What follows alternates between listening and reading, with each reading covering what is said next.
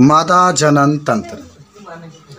तो देखो तो इसमें हम बता देते हैं कि मादा जनन तंत्र एकदम आराम से समझना। जैसे आप बताए थे कि पुरुष जनन तंत्र का मुख्य जनन अंग क्या होता है? अंडा से। हाँ मादा जनन तंत्र का जो मुख्य अंग होता है क्या होता है? अंडा एक जोड़ी अंडाशय की भी संख्या होती है। जैसे वृषण की संख्या दो होती है एक जोड़ी में दो। उसी तरह से अंडाशय भी कितना होता है? और देखो मैं आपको चित्र दिखा दूँ अंडाशय। देखो किताब में देखो ये एक नीचे देख रहे हो ना ये वाला? आ एक ये वाला देखिए दो अंडाशय दिखाई दे रहा। है ठीक है? हाई गर्भाशय है हाई देख लो अंदर वाला। और जब त्रिभुज आकार के दिखाई दे रहा है ना? ये गर्भाशय है देखो ये एकरा ऊपर गर्भाशय है वो सब लिखा होगा। आ हाई देख रहे हो अंड बा अंड वाहिका है। कहा है अंड? और एक हम बता देते हैं ना कि आ लिखा फेलोपियन ट्यूब। हाई नलिका। यह नलिका में, ए सुनो यार, फेलोपियन जो नलिका लिखा इसी नलिका में अंडाणु आकर के बनता है। आ तब रुक जाता नहीं हम बड़ा ये फिगर बना दी किताब में छोटा बनाया हमारा तो बड़ा अच्छा लगा है, बना में चीज़।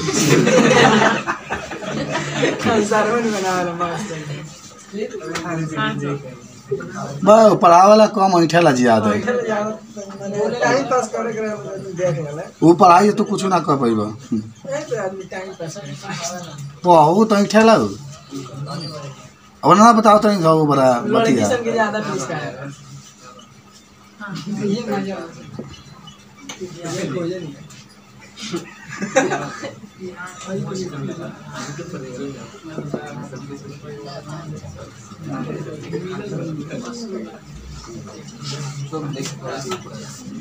चलिए।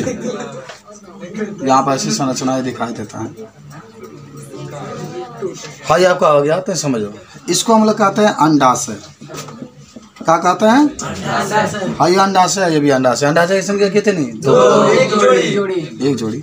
हाँ जो मेन वाला हिस्सा देख रहे हैं ना, ये वाला होता है हम बता देता नहीं। स्त्री का स्त्री का सबसे सुरक्षित जगह गर्भाशय। ऐसे है बताएँ आ, ये तीन झीली से, मान लो कि बना देते हैं यहाँ पर, थोड़ा सा आपको समझा देते हैं कि जो गर्भाशय होता है, वह तीन झीलियों से मिल करके बना होता है। सबसे जो अंदर वाला हिस्सा है, उसको अंतः गर्भाशय झिल्ली कहते हैं। ठीक है? या अंतर गर्भाशय स्तर भी कह सकते हैं। और जो मान लो कि मध्य वाला है, जो ये मध्य वाला है, यहाँ से दिखाते हैं। तो इसको हम लोग कहते हैं मध्य स्तर या मध्य परत भी कह सकते हैं। और सबसे बाहर वाला जो है, उसको परिगर्भाशय या बाह्य परत जो भी अच्छा ठीक है? आ हेकरा कहा जाला योनि। क्या कहते हैं? योनि हाँ ये सबसे स्त्री का सबसे जो बाहर वाला अंग जो होता है जो बाहर दिखाई देता है इसी को हम लोग योनि कहते हैं। क्या कहते हैं? योनि। जान जाइए क्या क्या दिक्कत है इसमें निगेटिव सोचना है। योनि सबसे बाहर वाला हिस्सा। इसके पीछे जाओगे गर्भाशय गुहा लिखा होगा फिर गर्भाशय आपका होता है। तो कार्यक्रम केंगा होता है। कार्यक्रम मतलब माने जनन केंगा होता है। केंगा लड़का रह जाता है आखिर किसी को। आप अभी तो पढ़े अभी मैं पढ़ा रहा हूँ आपको। थोड़ा सा आवाज़ तो नहीं पढ़ पाएँगे, इसी में टाइम पूरा बर्बाद हो जाएगा। बर्बाद मैंने ख़त्म हो जाएगा। काल हमने के पढ़ा जाएगा कि केंगा एम आता है, क्यों आता है? ठीक है? खैर, जो बचेगा उसको काम तो होता क्या देखो केंगा जनन होता है। देखो बायोलॉजी के टीचर पढ़ा रहे तुमको। तो इसमें क्या होता है ना, हर, जब भी माने एमसी आता है तो अंडाणु का निर्माण होता है। आपको बताया गया था। नहीं, आपको नहीं, बारह वाला का बताया, आपको बताया जाएगा। माने इतना जाने कि एम सी आता है तो अंडाणु का निर्माण होता। है हाँ वह अंडाणु तने इसका नाम लिख देते हैं। इसको हम लोग कहते हैं फेलोपियन देखो लिखा होगा उसमें? ट्यूब या ट्यूब का अंग्रेज़ी में कहते हैं हिंदी में कहते हैं नलिका। नलिका। इसी के अंदर आपसे प्रश्न पूछा जाता है कि जो मानव में जनन होता है किसके अंदर होता है? पहले तो ये जाने कि अंत जनन होता है। अंत का मतलब शरीर के अंदर होता है। और वो भी कौन किसके शरीर के अंदर होता है? स्त्री के। माता का अंदर होता है ना? और वो भी कहाँ होता है तो उसका नाम याद रखना, फेलोपियन नलिका। हर महीने जब एमसी आता है का अंडाणु का निर्माण होता है, और ये अंडाणु फेलोपियन नलिका में आता है। कहाँ आता है? फेलोपियन नलिका में अंडाणु बन करके आ करके तैयार होता है। वो गतिशील नहीं होता है, अगतिशील होता है। मानी गति नहीं करता, खाली बन के यहाँ पर रहता है। आज जब जनन हम लोग करते हैं, क्या करते हैं? जनन। तो योनि के द्वारा देखा ये? योनि है, हम लोग का जो सीसन होता है, इसके अंदर जाता है। किसके अंदर जाता है? हाँ जो वीर्य होता है, निकलता है, फिर यहीं से शुक्राणु हो करके यहाँ जो अंडारू रखा गया, इसके जा करके जनन करते हैं। लोह जाता है, माने लोह गया। शुक्राणु जाकर अंडाणु से रह गया, माने लोह गया तो उसके बाद समझो कि बच्चा रह गया। आई जाकर कहिए गर्भ है अंदर बच्चा के का होता है, निर्माण। समझ लो। अगर जनन नहीं हुआ तो जब माने जैसे मतलब कभी कह लगेगा? माने देखो तुम लोग जाओगे तो विस्तार से बताया जाएगा। अभी समझ लो कि एमसी जब आता है एमसी आता है। आता है आता ही चाहिए आना भी चाहिए स्त्री को। ये बाबू एमसी अगर नहीं किया तो स्त्री के और वो बीस बाईस साल को हो गया भैया तो माता पिता के पता होगा डर हो जाए आई बाहर कहीं गाड़ी तो ना लोड हो गई गजने होता है कैसे? तरीके का हाँ होता है यार, पूछना बहुत चिंता होती है। अब लगी, आ मतलब माने उल्टी कर रही है। तो गाड़ी क्या हो गया? कहा कमी को लोड करते यहाँ पड़ा तो यहाँ। खैर, जो भी बात हो, लेकिन इतना जानना कि हर महीना अंडाणु का निर्माण होता है, ठीक है? अगर जनन, जैसे कोई आता है ना कि जब एमसी आता है, तुम लोग भी जान जाओ। क्या मालूम जाना, जानकारी भी होगा। तुम लोग कर कहाँ से काम आ गया? कोई बात नहीं जानो। कि जब एमसी आता है तो एमसी के चौदहवा से दिन से लेके इक्कीस। अठारहवा दिन तक। बूढ़वा हो के लोग तो सब जानता है। चौदहवा दिन से लेकर के अठारहवा दिन के बीच में गर्भ धारण करने की क्षमता अधिक होती है। मतलब है। वो हो गया होगा। लेकिन चौदहवा दिन से लेकर अठारहवा दिन लोह जाइए में ज़्यादा। देखते हो? ना जो जो पुरुष घर पर रहते हैं उसके बच्चों की संख्या चार पाँच छः चार पाँच छः होगा। दस। दस तो माने किसी को होगा हर एक आदमी एक दो है। जो घर पर रहता है चार पाँच छः और जो बाहर रहता है उसका एक दो तीन एक दो तीन होता है। क्या कि मान लो एम सी आई हालाँकि आप स्त्रिया को पढ़ाए जा मान लो हमने के पढ़त हैं जा हम आपको पढ़ा रहे हैं। है सुनो। अगर हम आपको पढ़ा रहे हैं तो आप जानकारी आपको हो रही है कि चौदहवा दिन से लेकर अठारहवा दिन तक मन अधिक रहता है। समझ रहे हो? संभावना मतलब ज़्यादा बहुत अधिक रहता है। नब्बे प्रतिशत से अधिक संभावना होती है कि बच्चा रह सकता है। इधर मतलब सात दिन तक कोई संभावना कोई दिक्कत नहीं है। फिर उन्हें इक्कीस बाईस दिन के बाद जीवो तो कोई दिक्कत नहीं है। समझ रहे हो ना? हाँ, माने एमे ज़्यादा संभावना है। है। अठारह के बाद करबो तब वो माने संभावना बात है भाई बात है। तो इसे कंडोम बनाया है कंडोम सरकार ने। उसका यूज़ कर सकते हैं आप। माला डी गोली आता है उसका यूज़ कर सकते हैं। सहेली आता है उसका यूज़ कर सकते हैं। गोली का नाम है सर। कंडोम का नाम है सहेली। कॉपर टी आता है कॉपर टी ए सुनो। कॉपर टी भी है तो। चलो अंडा से लिख लो। अंडाशय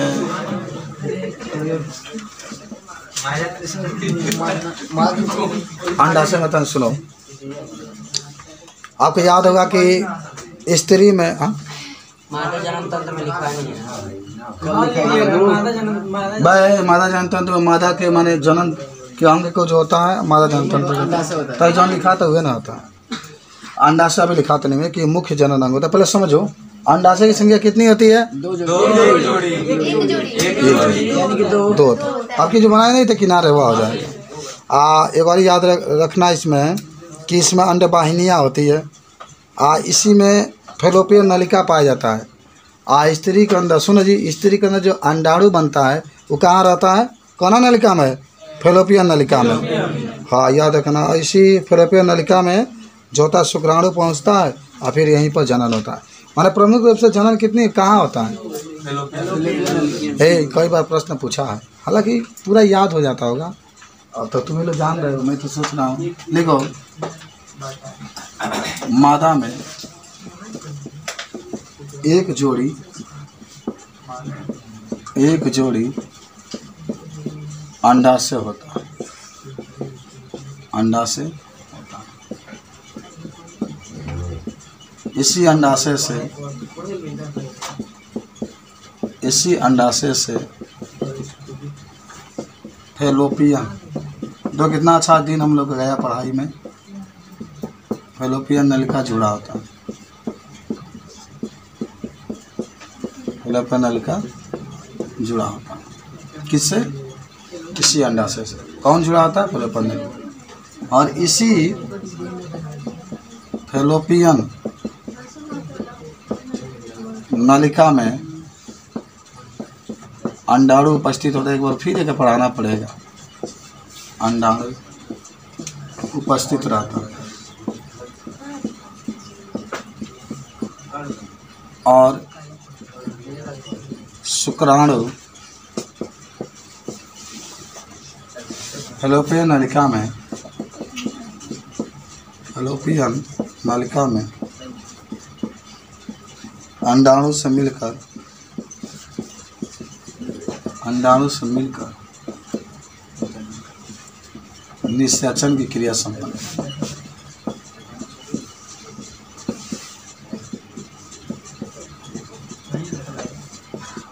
संपर्क करता है अंडा से स्त्री का मुख्य जनन अंग है। मुख्य जनन अंग। चलो भाई, नोट कर लो। बाप रे जनन बहुत हरा होता है। मैंने समझ में नहीं आता, लेकिन तुम लोग क्या मालूम? एक ही बार में समझ जा रहे हो। जल्दी से।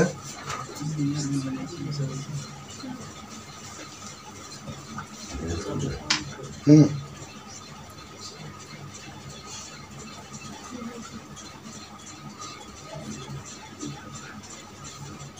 कभी भी अंदाज से मत भूलना अंदाज से जो होता है स्त्री जनन अंग का मुख्य भाग होता है।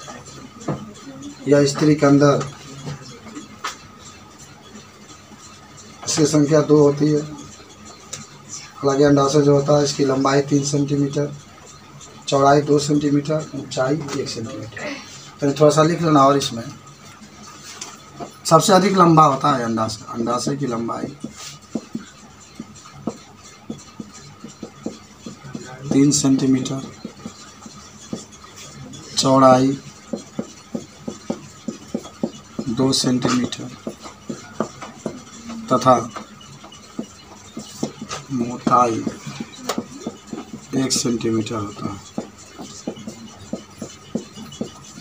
ये आपके पास। आपसे कोई पूछे तो कोई दिक्कत है कोई दिक्कत अंडाशय की लंबाई तीन सेंटीमीटर चौड़ाई दो सेंटीमीटर तथा मोटाई एक सेंटीमीटर। और क्या लिखा है उपस्थित रहता है और शुक्राणु इधर से है। कब है? शुक्राणु वो पूछना हो। बस इधर आ जाओ।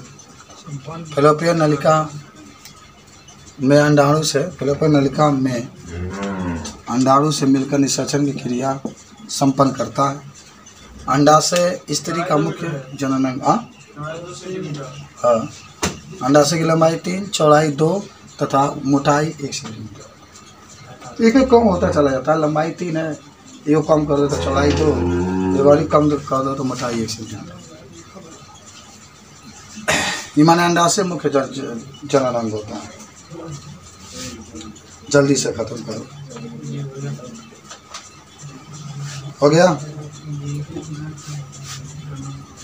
अब लिखो सहायक जनन अंग तंत्र।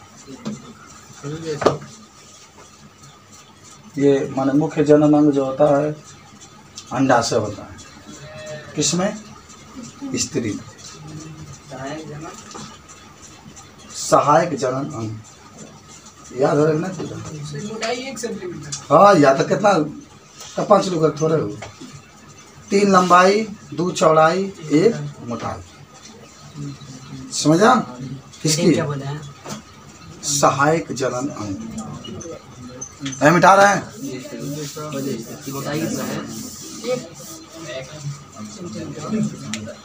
है सहायक जनन अंग। ये दो घंटा कम निकल गया पता ही नहीं चला। देखो यह स्त्री के जनन में सहायता करने वाले अंग हैं। सहायता करने वाले अंग पहला अंडवाहिनी अंड वाहिनी देखो मैं बता दूँ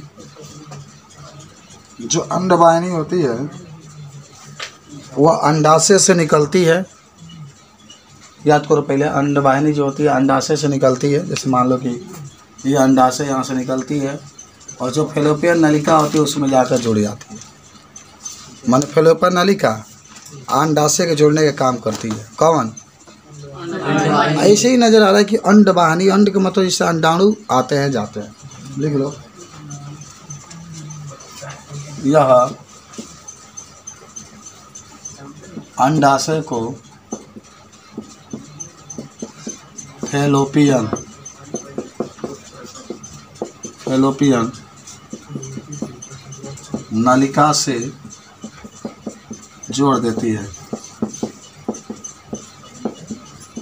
तथा इसी से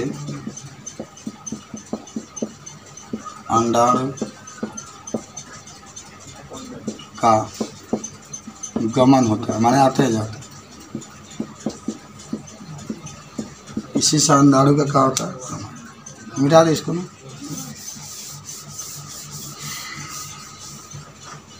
तो अंडवाहिनी नहीं भूल सकता है, ये अंडाशय और फेलोपियन नलिका को जोड़ती है। कौन जोड़ती है? अंडवाहिनी इसी से अंडाणु वगैरह आते हैं। आपको याद होगा, उसके बाद से गर्भाशय। तो गर्भाशय आप देख रहे थे, ये उल्टे नाशपाती के आकार की होती है। इसका आकार, लंबाई आठ सेंटीमीटर, तीन घटा दोगे तो पाँच सेंटीमीटर चौड़ाई, और तीन घटा दोगे तो दो सेंटीमीटर मोटाई होगी गर्भाशय तीन झिल्लियों से मिलकर बना होता है। गर्भाशय के अंदर कैपेसिटी होता है कि बच्चा जब छोटा है तो सिकुड़ा रहता है। जैसे जैसे बच्चा बड़ा होता है गर्भाशय क्या होता है? फैलता रहता है। और याद कर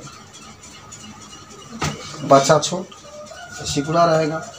अब हंसने क्या बात है जब पढ़ रहे हो ऐसे बोल देते हैं एकदम से। अब मतलब कहेंगे माने इतना बढ़िया अपना पेट पर यूज़ करके देखा होता है? कि जब छोटे होता है तो गर्भाशय सिकुड़ा रहता है। जैसे जैसे बच्चा फैलता है वैसे गर्भाशय होता है? हैं। शर्म नहीं करना चाहिए आप पढ़ रहे हैं। हाँ, तो वही नहीं आना चाहिए आपको। शर्म करोगे तो कहाँ पढ़ पाओगे?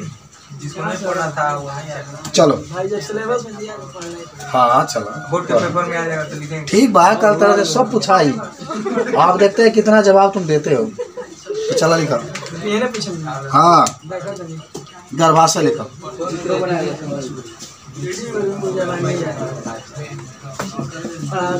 अच्छा मान लो श्रेष्ठ तुम्हारे अंदर गर्भाशय हो।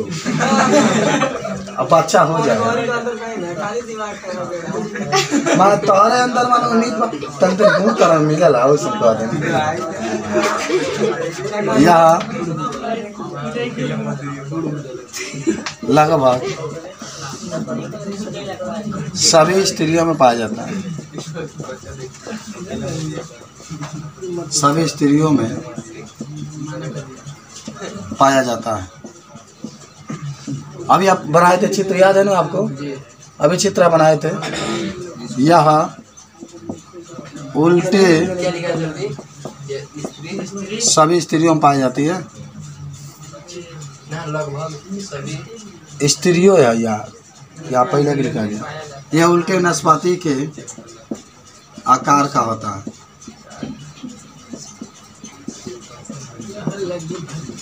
ये कितने झिल्लियों से मिलकर बना होता है?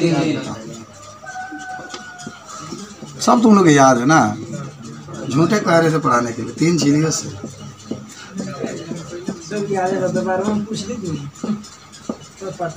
मिलकर बना होता है। हाँ, ये सब मालिक ना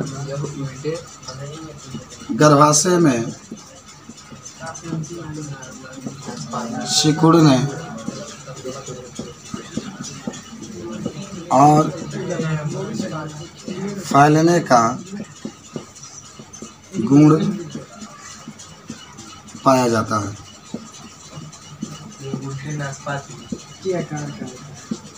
सिकोड़ने और फैलने का गुण पाया जाता है। किसमें गर्भाशय। अली कहना कि जब गर्भ छोटा होता है तो गर्भाशय सिकुड़ा होता है। सिकुड़ा होता है। और जब गर्भ बढ़ता है तो गर्भाशय भी फैल जाता है। ये गर्भाशय निकले झीली हाँ। क्या करवा इतना ज़्यादा लिखना है, हाथ दर्द कर रहा है। सुबह ही से लिख रहे हैं, सोचो।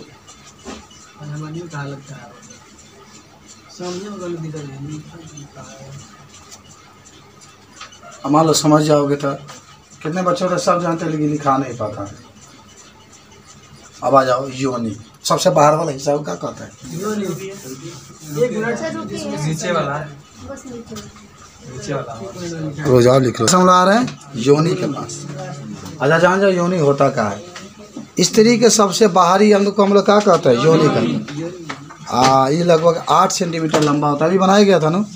आठ सेंटीमीटर मतलब कि आधा इंची जैसे इंची लिए पंद्रह होता है ना? तो आधा जितना लगभग होगा उतना ही होता है। योनि की लंबाई सबसे बाहर वाला हिस्सा होता है। ठीक है ना? हाँ। अब मूत्राशय तथा योनि मादा जनन क्षेत्र शरीर से खुलती रहती है। चलो लिख लो, फटाक दे। देखो, यह स्त्री के सब, ये स्त्री जनन का सबसे बाहरी अंग स्त्री जनन का सबसे बाहरी भाग होता है। क्या शैलेश तो बोलत रहे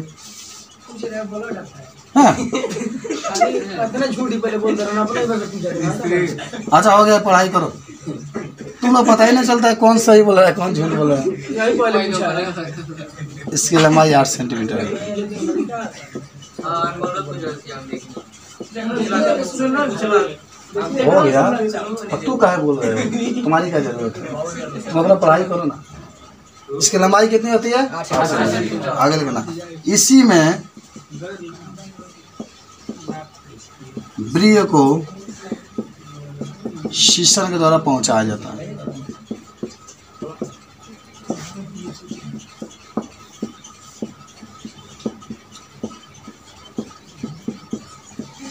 पहुँचाया जाता है। ये योनि है।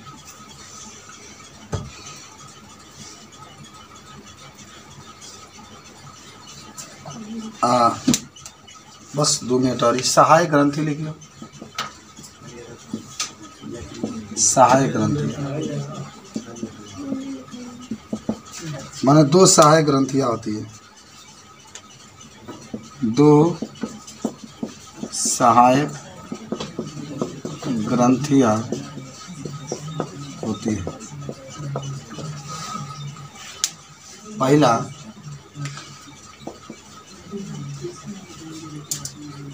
पहला जो होता है उसका नाम होता है बार्थोलिन ग्रंथि।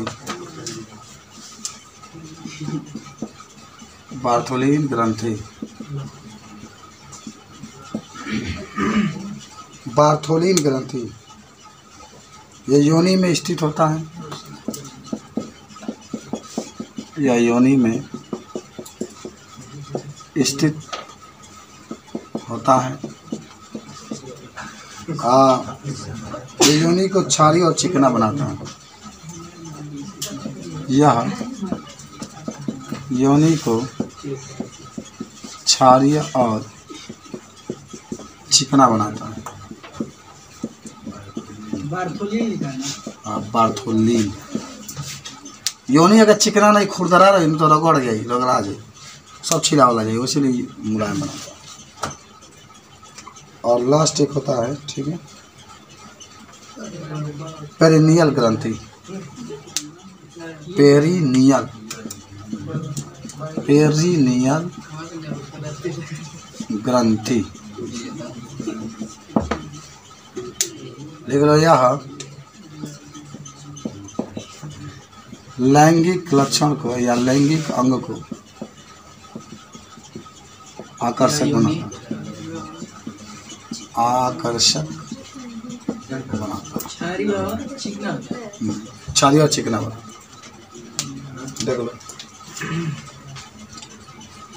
इस तरीके से आप मानव और मादा दोनों के बारे में पढ़ लिए। कल मैं आपको बताऊँगा क्या होता है जब अंधिका निषेचन नहीं होता है। आज जनन स्वास्थ्य। दूसरा का लिखा था